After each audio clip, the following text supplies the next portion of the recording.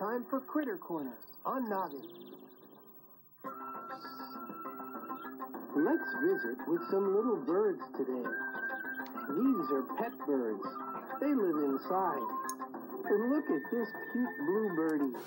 That's Zee's cousin, Buster. Hey, you two, no fighting. Hello there, Buster. Yes, we see you. I'll tell Zee. You said hello